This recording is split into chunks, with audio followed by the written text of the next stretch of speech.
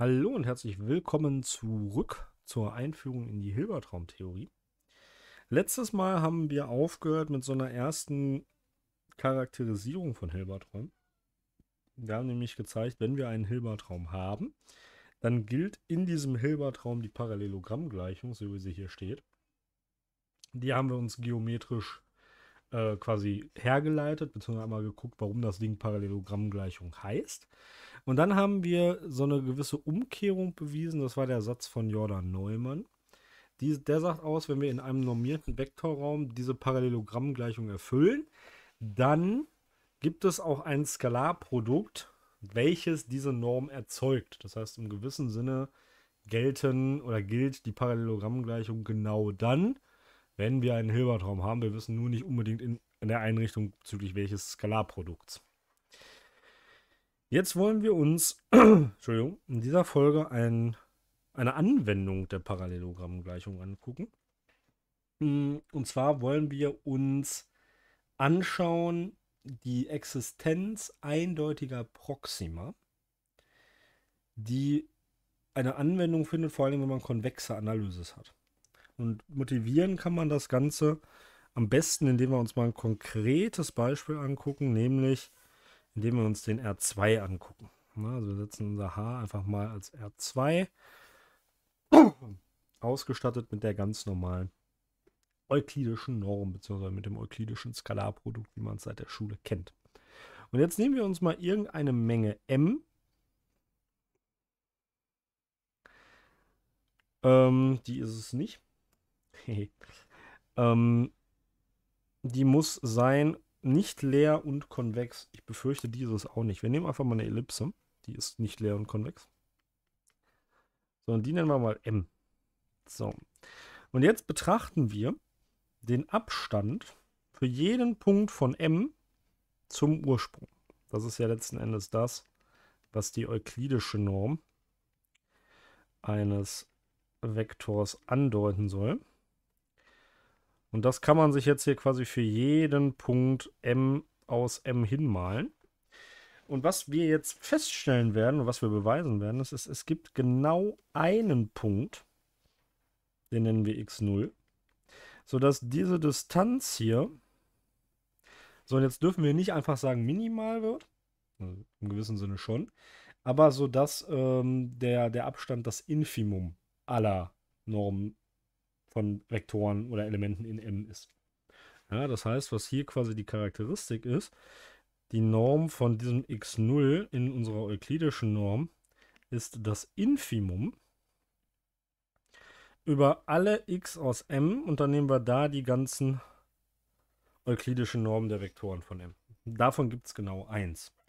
So, und jetzt können wir schon so leicht erahnen, warum wir hier die Konvexität brauchen die brauchen wir zur Eindeutigkeit. Ne? Wenn ich jetzt hier eine nicht konvexe Menge andeute, ich mache das mal hier so ein bisschen kleiner neben nochmal, hier so eine nicht konvexe Menge andeute und ich sage meinetwegen, das Ding sieht irgendwie so aus, das kommt dann näher an dem, an das dran, was ich erstmal gemalt habe, dann sehen wir sofort, na gut, okay, ähm, da geht unter Umständen, das ist jetzt not to scale, na, aber die, die Idee kommt rüber, da geht unter Umständen eben diese Eindeutigkeit flöten, weil hier zwischen kann sich halt irgendwie alles abspielen. Ne, wenn wir uns überlegen, das könnte hier natürlich auch nochmal ausschlagen und hier noch ein bisschen oszillieren und noch so Kleinigkeiten machen. Also auf jeden Fall geht uns die Eindeutigkeit an der Konvexität flöten. Das werden wir gleich im Beweis dadurch merken, dass wir nur bei der äh, Eindeutigkeit die Konvexität brauchen. Die Existenz ist ein rein funktional-analytisches Element. Also, also formulieren wir jetzt erstmal den Satz. Ne? Also wir wollen irgendwie auf so eine Gleichung raus, nur in einem allgemeinen Hilbertraum. Und dann beweisen wir das. Das ist Satz 1.8. Wir brauchen tatsächlich nicht die Vollständigkeit von H. Das heißt, wir fordern nur, dass das ein Innenproduktraum ist. Und wir sagen, M-Teilmenge H soll, wie gerade schon angedeutet sein, nicht leer, sonst kann es gar keine Elemente in M geben. Ne? Konvex für die Eindeutigkeit und, und das ist jetzt für die Existenz wichtig, es muss eine vollständige Menge sein. Ja, eine Menge ist dann vollständig, wenn die ähm, Menge mit der Norm, die durch Skalarprodukt induziert wird, selber als normierter Raum vollständig ist. Insbesondere dann erfüllt, wenn H eben ein äh, Hilbertraum ist und ich meine, was muss dazu erfüllt sein? H Hilbertraum, ich glaube, es kommt auch gleich. Genau, H Hilbertraum, M abgeschlossen. Ne? Dann kann man sich das äh, an der Stelle sparen. So, und dann ist die Aussage, es gibt genau ein x0 aus diesem M mit genau dieser Eigenschaft, nur halt hingeschrieben für die H-Norm.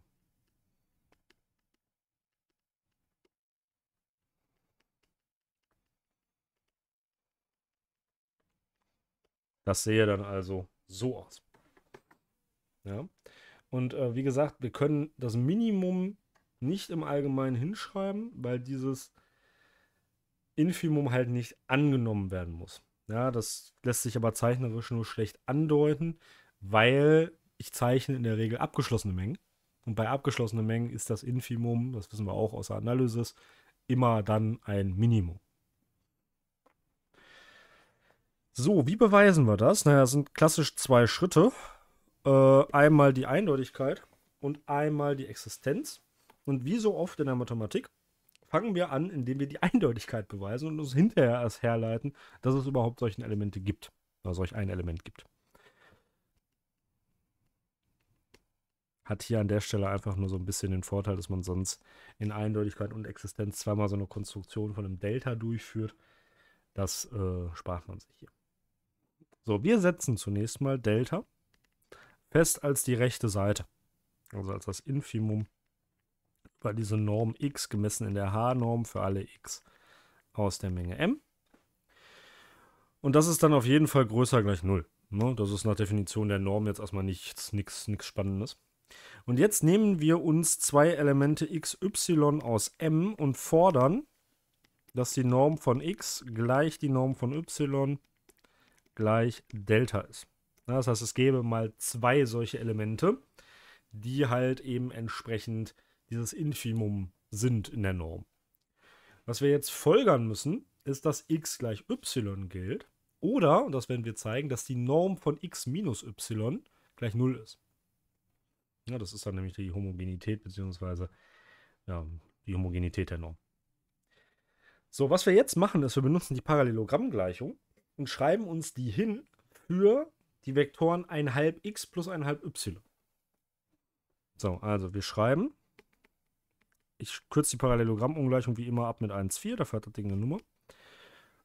Also wir schreiben 1,4 für 1 halb x plus 1 halb y hin.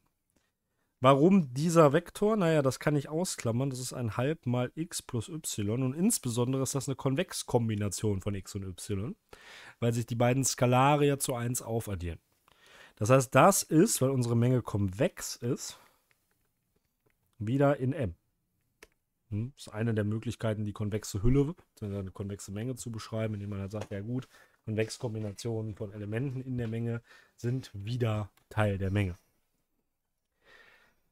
So, was kommt dann raus, wenn wir das jetzt hinschreiben? Da kommt raus die Norm von 1,5 mal x plus y h Quadrat plus die Norm von 1,5 x minus y h Quadrat. Und jetzt Parallelogrammungleichung, also 1,4, ist das gleiche wie 2 mal 1,5 x plus 1,5 y jeweils in der H-Norm. Jeweils ins Quadrat. Das können wir jetzt einfach ausmultiplizieren und dann können wir das ein bisschen umschubsen. Dann landen wir bei folgender Formel. Wir landen bei 1 Viertel mal die Norm von x plus y h Quadrat. Ja, das kommt dadurch raus, dass ich ein Halb hier rausziehe, geht das ins Quadrat. Und dann bleibt hier das stehen. Das ist das gleiche wie, jetzt lösen wir diese Klammer auf, ein Halb rausgezogen ins Quadrat ist ein Viertel, mal 2 ist ein Halb. Das heißt, dann steht hier ein halb Norm x Quadrat und hier hinten genauso dann ein halb Norm y Quadrat. So, und was fehlt uns noch? Naja, dieser Term hier, ein halb x minus y ins Quadrat, den müssen wir auf die andere Seite bringen. Das heißt, wir subtrahieren minus und ziehen das Viertel nach vorne. Minus ein Viertel mal x minus y zum Quadrat. So.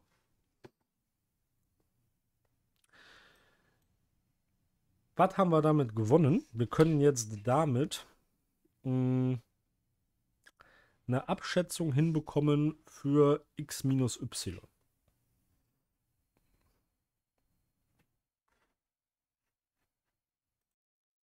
Ja, denn hieraus folgt jetzt, dass die Norm von x minus y ins Quadrat kleiner gleich ist als 2 mal Norm x plus Norm y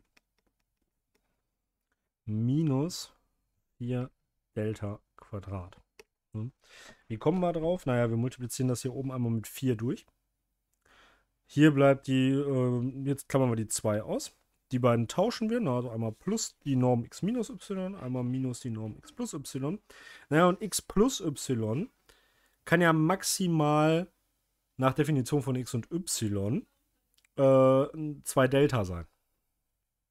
So, und 2 Delta ins Quadrat sind eben diese 4 Delta-Quadrate, die da hinten entstehen. So, dem Dingen hier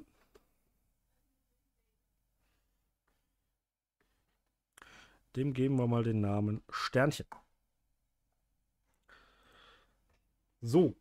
Achso, und das gilt jetzt hier für jede, für je zwei Werte xy aus m. Das haben wir hier oben aber auch hingeschrieben. Ne? Genau. Also die, diese Konvexkombination dafür. Ne, Moment. Wir geben uns zwei xy aus m vor und betrachten die Konvexkombination. So. So, andererseits haben wir dann aus dieser Darstellung oben x plus yh zum Quadrat gleich wieder zweimal die Norm von x Quadrat plus die Norm von y Quadrat minus die Norm von x minus y zum Quadrat. Und ne, das ist genau diese Formel hier. Nur halt mit dem, mit dem mal 4 multipliziert und die 2 ausgeklammert. Und das können wir jetzt umstellen. Und erhalten Norm x minus yh Quadrat gleich zweimal Norm x Quadrat plus Norm y Quadrat minus die Norm x minus y. Äh, x plus y, Entschuldigung. h zum Quadrat. Und das ist jetzt größer gleich als 2 mal Norm xh Quadrat plus Norm yh Quadrat minus diese 4 Delta Quadrat. So. Ja, wobei wir jetzt hier bei der letzten Abschätzung bei den letzten beiden Abschätzungen, äh, die Definition von dem Delta ausgenutzt haben. Die Tatsache, dass wir mit 1 halb x plus 1 halb y wieder in m landen und damit nicht über dieses Delta rausgehen und das Delta größer 0 ist, weil dadurch dreht sich hier die Relation. So, m ist jetzt aber konvex. Ja, das heißt, wegen Sternchen haben wir jetzt diese beiden Abschätzungen. Ja, das heißt, das x muss gleich y sein, respektive die Norm von x minus yh muss 0 sein. Sonst verstoßen wir gegen diese, diese Konvexität von m. Also da m konvex ist, gilt Norm x minus yh Quadrat gleich 0. Also x gleich y. Ne? Das ist die Eindeutigkeit dieses x Nulls. Jetzt müssen wir uns also noch kurz Gedanken machen, äh, dass dieses x0 auch tatsächlich existiert. Das ist jetzt aber tatsächlich nach ganz normalen funktional-analytischen Begründungen. Und hier kommt jetzt die Vollständigkeit ins Spiel. Ähm, nach Definition von dem Delta, also von dem Infimum, gibt es eine Folge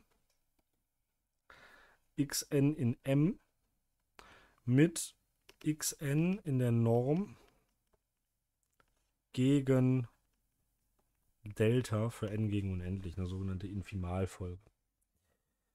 So, wegen dieser Aussage Sternchen hier ist dann dieses xn eine Cauchy-Folge. Man ersetzt jetzt einfach x durch xn, y durch ym und dann steht hier nämlich im Prinzip genau die Cauchy-Bedingung.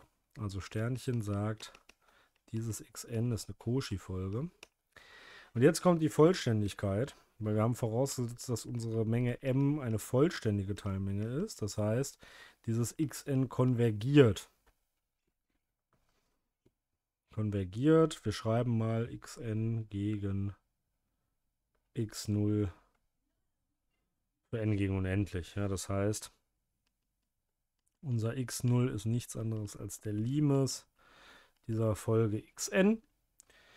Und weil das Ding vollständig ist, ist dieses x0 hier eben wieder in m. Das heißt, das ist ein Element in m und damit existiert genau so eins, weil im Grenzwert äh, ist das Ding dann eben in der Norm gleich Delta, weil das eine stetige Funktion ist.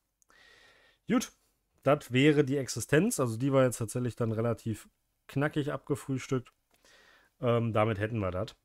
Jetzt haben wir im Skript noch eine Bemerkung. Hm. Das habe ich aber im Prinzip schon vorweggenommen, als wir das durch diese Skizze motiviert haben. Ne? Also diese Konvexität der Menge m wird nur für die Eindeutigkeit benötigt. Das war das Erste.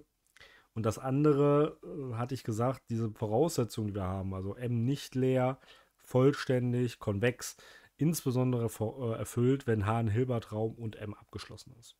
Ja, und konvex natürlich. Gut, damit sind wir für heute auch schon durch, weil das ist das Einzige, was wir heute in dieser Folge machen wollten. Nächste Folge geht es dann weiter mit einem wichtigen Begriff, den man erahnen kann, wenn man sich mal in Erinnerung ruft, wie wir in der linearen Algebra mit solchen Skalarprodukten umgegangen sind oder was wir mit denen gemacht haben. Wir haben nämlich Winkel ausgerechnet. Und wir haben das Konzept einer oder von zwei orthogonalen Vektoren eingeführt. Und genau das können wir jetzt auch in Hilberträumen tun. Und das werden wir im nächsten Abschnitt motivieren und dann ein paar Aussagen dazu zeigen, die sich tatsächlich relativ analog zu dem anfühlen, was wir schon aus der linearen Algebra kennen. Dann bedanke ich mich sehr fürs Zuschauen. Wir sehen uns beim nächsten Mal wieder. Bis dahin habt eine schöne Zeit. Macht's gut und tschüss.